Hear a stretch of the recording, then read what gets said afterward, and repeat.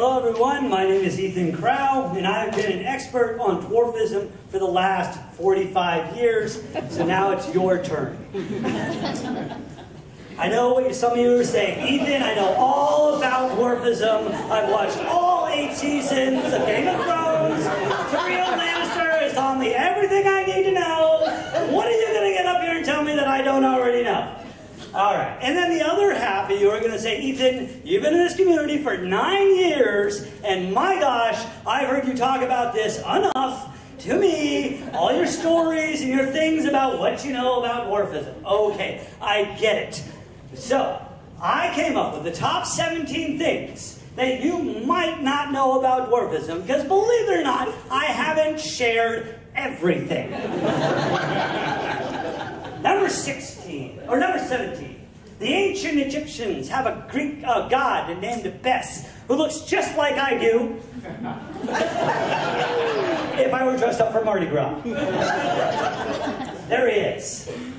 Dwarfism has been around a very long time. Number 16, I found out the most important thing to us as human beings is actually a dwarf. That's right, the sun on the Hertzsprung-Russell diagram that categorizes stars based on luminosity and mass, categorizes our sun, thing shining out there right now, as a yellow dwarf star. Staying celestial. When I found out that Pluto got demoted, wah, wah, wah, I got a very easy Halloween costume. I put a black shirt on, put a picture of Pluto on my chest, and I went door to door with my son.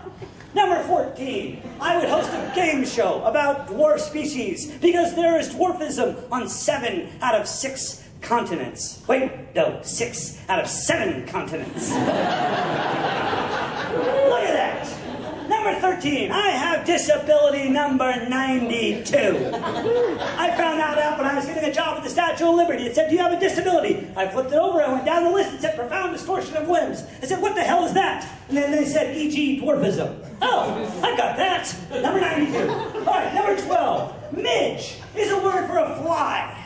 That fly, in fact and it can be a very nasty insult for a person. So if you're going to say something about midges, make sure you're talking about flies. All right? Otherwise, we'll stick you to the paper. Number 11, my entire family, and I'm talking about all of my ancestry, every bit of it back to ancient Egyptians, is of average height. That's my mom, that's my dad, my aunt, and my uncle, and that's my younger brother. All right, number 10, my type of dwarfism occurs in one out of 25,000 births. Holy crud, am I rare. I so, there it is. Achondroplasia. That's me. Here are the genetic chances for our children. Everyone's like, whoa, can you have tall children? Can you have short children? What are your chances? Well, 25% chance little d, 50% chance big D, little d, and then 25% big D, big D. So that is called a Punnett square. Learn it. All right, number eight. Our kids know how to talk about this too, believe it or not, because giving your children a tool set to deal with this difference is a very nice thing to do. And going to Isla Mujeres in Cancun is also very nice. Number seven, I know the challenges of diversity and inclusion. You know why? Because I'm the only one like me in this room. And that's always the case, 99% of the time. Six, I don't like watching people walk on eggshells. I don't. I, you're not going to insult me unless you're trying to insult me. And then I'm sure you're going to do a fine job. But don't worry about it while we're talking.